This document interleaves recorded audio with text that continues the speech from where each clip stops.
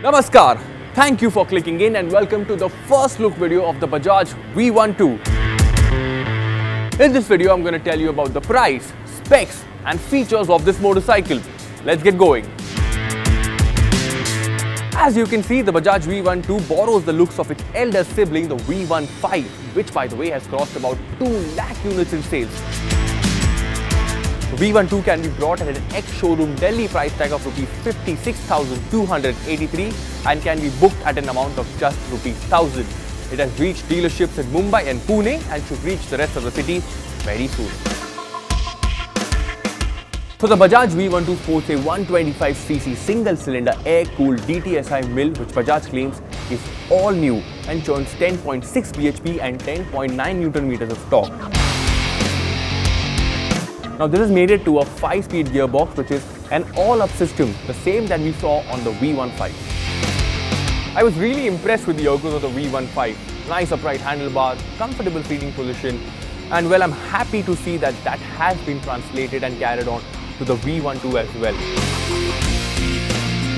It also retains a tank capacity of 13 liters. Now a lot of you guys who are probably watching this video right now and are wanting to buy this motorcycle would have fuel efficiency on the top of your checklist. Well, that is something that we are definitely going to cover in a first ride review. Well, the Bajaj V12 gets 30 mm forks on the front which have about 110 mm of travel and on the rear you get twin gas shocks which have about 106 mm of travel. Now the V15 had a disc setup on the front.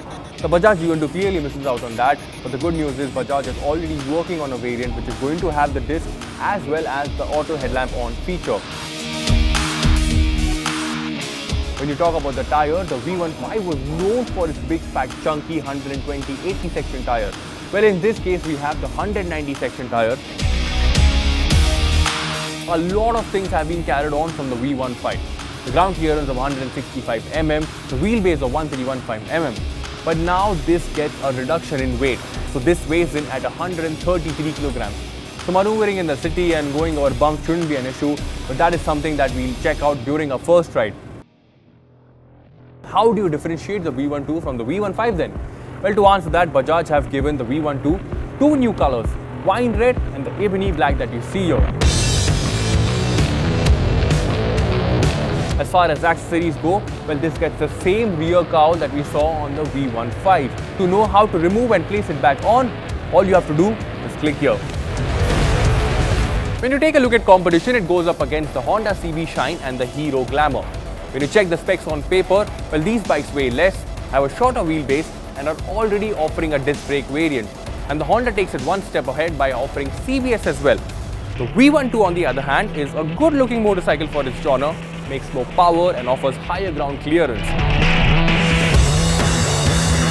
We still have the first ride video coming up on our channel which will have the fuel efficiency numbers and how this motorcycle performs in the city and on the highway. So if you do not want to miss out on that, make sure you hit the subscribe button most importantly, stay notified.